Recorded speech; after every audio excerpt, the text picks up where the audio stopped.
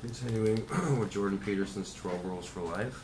Uh, once again, I want to thank the uh, good friend who got me this great light. Uh, now the videos are much more brighter, if you noticed. Um, we'll continue reading uh, the last section of rule number four. Um, compare yourself to who you were yesterday, not to who someone else is today. this is called pay attention. Pay attention. Focus on your surroundings, physical and physio- physiological. Notice something that bothers you, that concerns you, that will not let you be, which you could fix, that you would fix. You can find such some things by asking yourself, as if you genuinely want to know, the three questions. What is it that is bothering me? Is that something I could fix? Would I actually be willing to fix it? If you find that the answer is no to any of these questions, then look elsewhere, aim lower, search until you find something that bothers you, that you could fix, that you would fix, and then fix it. That might be enough for the day.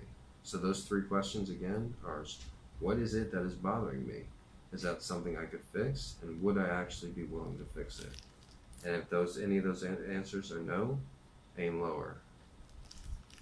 Maybe there's a stack of paper on your desk and you have been avoiding it. You won't even really look at it when you walk into your room. There are terrible things lurking in there tax forms and bills and letters from people wanting things that you aren't sure that you can deliver. Notice your fear and you have some sympathy for it. Maybe there are snakes in that pile of paper. Maybe you'll get bitten.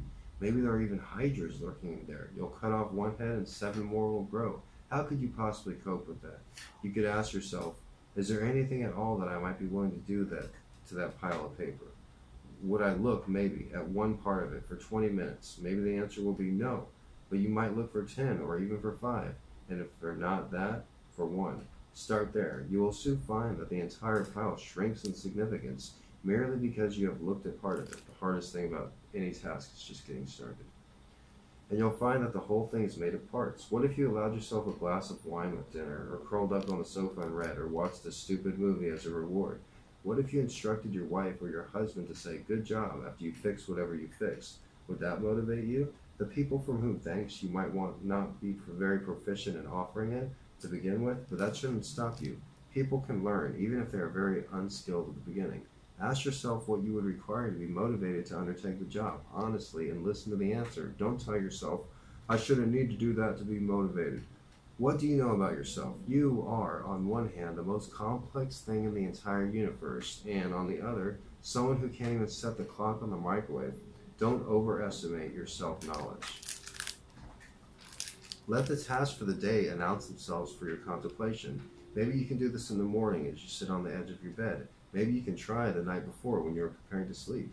Ask yourself for a voluntary contribution. If you ask nicely and listen carefully and don't try any treachery, you might be offered one. Do this every day for a while, then do it for the rest of your life. Soon you will find yourself in a different situation. Now you will be asking yourself habitually, what could I do that I would do to make life a little better? You are not dictating to yourself what better must be. You're not being a totalitarian or a utopian even to yourself because you have learned from the Nazis and the Soviets and the Maoists and from your own experience that being a totalitarian is a bad thing. Aim high, set your sights on the betterment of being.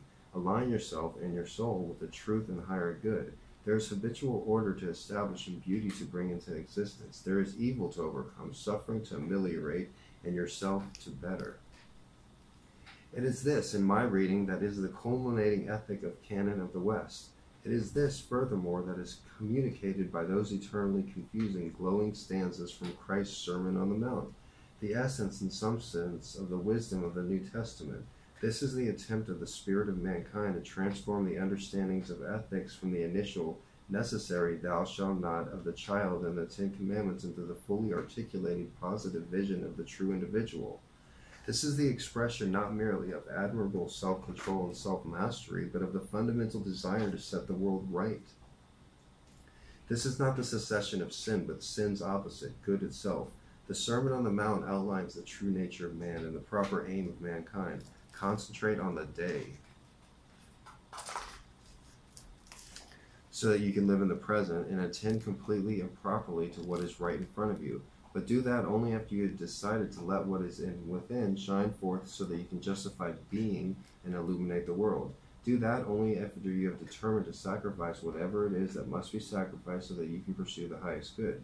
Consider the lilies of the field, how they grow, they toil not, either not do they spin. And yet I say unto you that even Solomon in all his glory was not arrayed like one of these.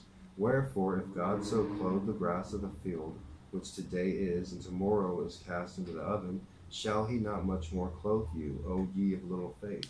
Therefore take no thought, saying, What shall we eat, or what shall we drink, or wherewithal shall we clothe? For after all these things do the Gentiles seek. For your heavenly Father knoweth that you have need of these things. But seek ye the kingdom of God and his righteousness, and all things that shall be added unto you. Take therefore no thought for the marrow, for the marrow shall take thought for the things of itself. Sufficient unto the day is evil thereof. Realization is dawning. Instead of playing the tyrant, therefore, you're paying attention. You're telling the truth. Instead of manipulating the world, you're negotiating. Instead of playing